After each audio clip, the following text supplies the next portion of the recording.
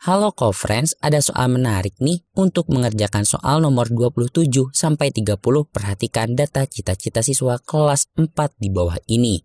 Dokter 6 anak, polisi 7 anak, pengusaha 9 anak, arsitek 4 anak, guru 11 anak, ilmuwan 3 anak. Yang ditanyakannya adalah profesi yang paling sedikit menjadi cita-cita anak adalah oke, okay, kita perhatikan co-friends pada data di soal. Untuk yang paling sedikit kita perhatikan dokter enam anak.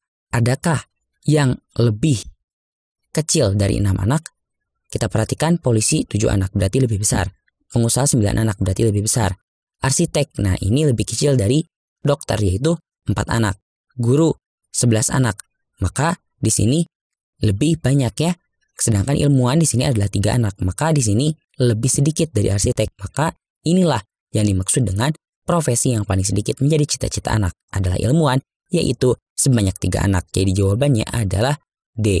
Yeay, selesai deh conference. Tetap semangat belajarnya. Sampai jumpa di pembahasan soal berikutnya.